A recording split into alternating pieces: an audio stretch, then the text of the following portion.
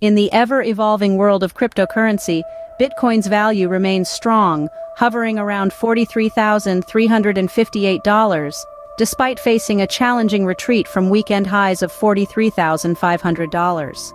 The Grayscale Bitcoin Trust, known as GBTC, has seen significant outflows, totaling a staggering $360 million, a worrying trend for Bitcoin enthusiasts.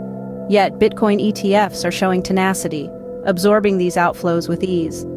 Bloomberg's James Seyffart points out that over $5 billion have exited GBTC since its ETF transformation.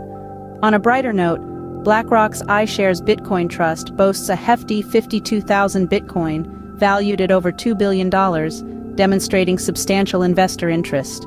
This impressive activity signifies a high buy volume, particularly when considering Bitcoin's daily production rate of a mere 900. As we await the Federal Reserve's decision on interest rates, the crypto market is cautiously optimistic, yet ready for potential volatility. The upcoming meeting and subsequent announcements by Chair Jerome Powell are eagerly awaited. Expectations lean towards potential rate cuts starting in March, a maneuver that could dramatically influence market dynamics. In the world of cryptocurrency, the only constant is change. Stay tuned for more updates.